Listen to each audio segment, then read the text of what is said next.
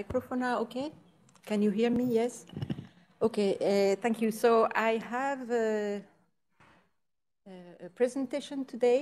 I, I, will not, I will not read the title because I will explain uh, uh, afterwards. So it's a, a, presentation of the work of Pedro Borges, who was um, one of my PhD students and who is in Brazil today and he is not here. So I am presenting his work that I supervised.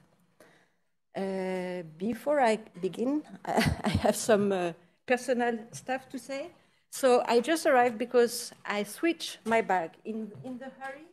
I took the bag of someone else. So if someone else is looking for his bag, I just go back to bring it back. uh, second personal message.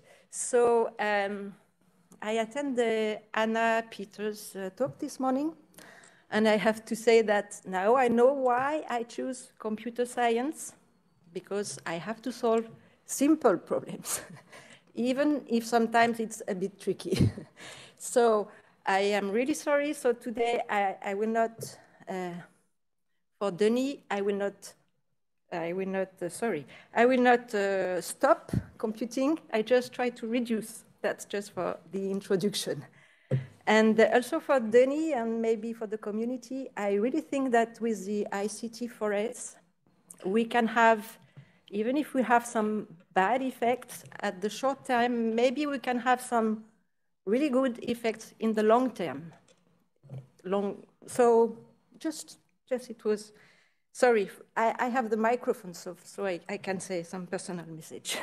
so, okay, just I start, sorry. Um, okay, so the, I begin to present a use case, um, which is, I don't know if you can see really good. So it's a typical IoT use case.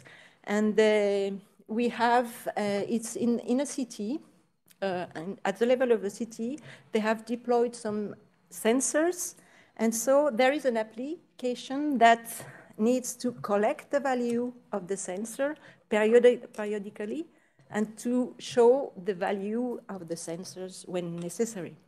So it's, um, it's an IoT, an example of IoT application. So, and now the context, so IoT is identified as one of the main factors of energy consumption growth as Hugues Ferreboeuf uh, showed yesterday. And uh, it generates lots, lots of data. So it's the context. So now for our research work, we reduce the focus. So here, I just wanted to introduce the fact that an IoT system is really a distributed system. So here, I wanted to show here the, the distribution of the system. So we have at your right the, the many sensors that are very heterogeneous and that it's really difficult to communicate with.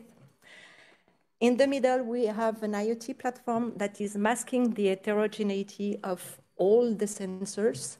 And on your left, there is um, the IoT consumer application that is uh, asking for collecting the, the, the, the observation of the sensors. So when I say IoT consumer application, it, yes, of course, it consumes energy, but it's really the mean of consuming collected data. And so um, there are interactions between the IoT consuming application and the IoT platform. And uh, in the software engineering world, the interactions are mainly uh, managed by the middleware. So here we are, you, you see in the stack of software, so there is a system, there is a middleware, and there is the application. So our work is focused, so really I focus, focus uh, on the IoT consumer application and on the IoT middleware. So, and the middleware, it's the really the one that manage the interaction.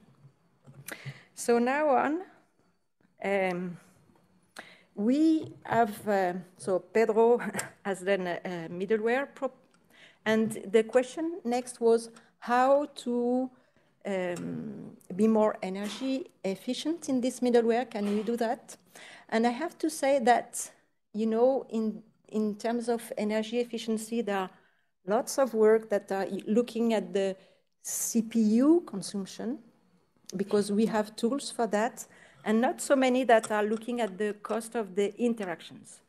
So it's, uh, yes, it was our, our uh, objective. So how to be energy efficient for the interactions and also how to bring some energy awareness that we could give back to the developers and also to the users, to the end users. So it's the two questions uh, we had. So we had a, a middleware proposal that's called IoTvar. And uh, in the IoTvar, you can imagine that the developer declare variables, and we call that IoT variables. But if you remember the, the, the use case example, we will have one variable by IoT sensor. So we declare variables, and each variable has a different refresh time. And uh, so our middleware, through uh, the proxy design pattern, uh, manage the interactions with the IoT platform. Okay, so we we have seen that the first outcome of reducing uh, of um, the, the, the, this IoT VAR middleware is that you can write application more with less number of line of codes. And then the second question for today is how can also be used the, the middleware to reduce that. And as uh, Adel uh, Noureddine here as stated before, the middleware is a good place because if you reduce, if you reduce at the system level, it's even better. But if you reduce at the middleware level, it can be used by many applications. So we thought it was a good, uh, a good level to introduce that. So in the middleware, I will not go into the detail, but we add some components software components for energy efficiency and energy awareness. And we also had, so for the, for the energy efficiency, we were asking what kind of strategy we can introduce. And we have, as I told you, uh, measuring the energy cost of the interaction, it's not so easy. So we have a lot of estimations, but the measurement is not so easy. So we have made some measurement and one of the results of those measurements is that if you, yes, here in the graph, so you send a mes message for a certain given period of time, and for 24 bytes till uh, more than 3,000 bytes, and we can see that it does not uh, grow, or does not grow so much. So our idea was how can we use that in our IoT middleware? So from that, we get a catalog of energy efficient strategies. One of them is request grouping, and this, this one I will, uh, I will uh, talk a little bit more about. And uh, the other is just adaptation of the refresh time. It's interesting, adaptation of the refresh time, because maybe you will decrease the quality of service, but you, with that, you can adapt to, to a limited energy budget. And uh, yes, so uh, in case of request grouping, if you, sorry, if you uh, remind the, the, the, the, image with a lot of sensors, so every sensor does not have the same refresh time, but if there are similar refresh time, we can group them. And so instead of sending three requests, we can uh, send one only request. It's a simple ID. And that's that simple idea that we evaluate. So we evaluate with, um, yes, experimental uh, setup. So here uh, we had a watt meter and we just uh, measure the interaction on the application uh, side, uh, consuming application side. And we measure with three, we write the same applications, but the first time in blue, we don't use any middleware. In the second time, we use the middleware, but without this energy efficient strategy. And the second one with the, so remember, blue without IoT middleware, orange uh, with, but without energy efficiency, and green with energy efficiency. So what are the results? So you can see uh, what is interesting here. So you have um, the level of grouping. So we group from 25 sensors till 200 sensors. And we can, uh, we can see uh, that in all the cases, the, the middleware, if you don't use the energy efficient strategy, the middleware is, has a cost. So orange is above the blue. So adding a software level has always a cost. But if we introduce the energy efficient strategy, we can reduce the cost. So that's a good, the good thing. So I arrived to the conclusion. Uh, yes.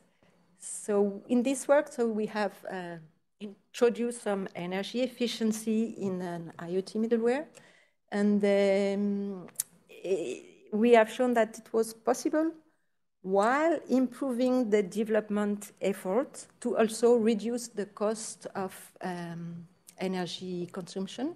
So it was a good result. And as an example, it can uh, augment the lifetime of your battery. For example, from uh, 16 hours to 31 hours, it's not too bad. Okay, but not least, we think the, the most important would be the energy and awareness and uh, to be able to, so we have been able to use the measurement to build a model. And with this model, we can um, estimate the energy consumption of the application according to the grouping factor, according to the refresh time, and so to have a value of this uh, consumption. And we think it's important uh, for the future. And so in the, the future, yes, I think it's important to put the user and the developer in the loop. It's more important than uh, just reduce. So it's, it's one of the points we want to develop. And the second point, of course, you have seen we have looked at the consumer application side, but it would be interesting to see at a service level with all the distributed components. So that's all. Thank you. Thank you.